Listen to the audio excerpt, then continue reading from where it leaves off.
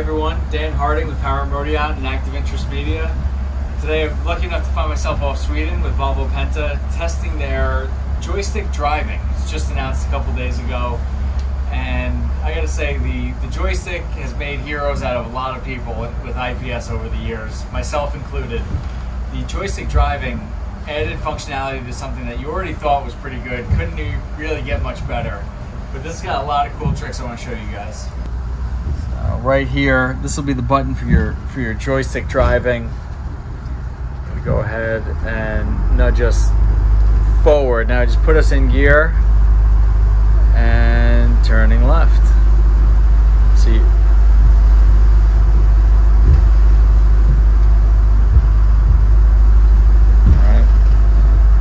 So now as we want to speed up, as your throttle.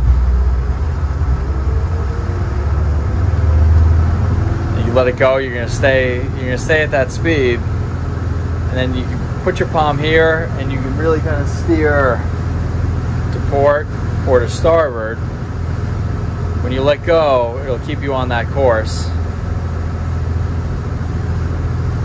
And then when you're going straight, you can control the autopilot with a couple short turns there. Pull that pull that screen up. So there you can see the auto autopilot functionality. Two ticks left. It's a couple degrees to port. But really it puts really negates needing the throttles or the wheel. I'm gonna try to pull pull us back a little bit.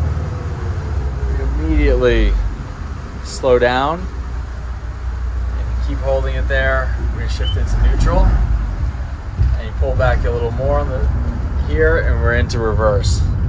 Cool thing, I think this is a really smart safety touch is when you let go of the reverse, you find yourself in neutral. Again, one click forward puts you in gear. We're gonna turn, turn to port.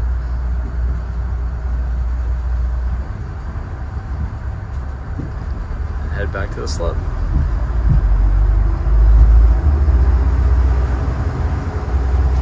Definitely takes a little takes a little bit of getting used to, but this is joystick driving from Volvo Penta. It's going to be a very popular option in the years to come, and it's really going to change, I think, what you could do with the modern helm setup.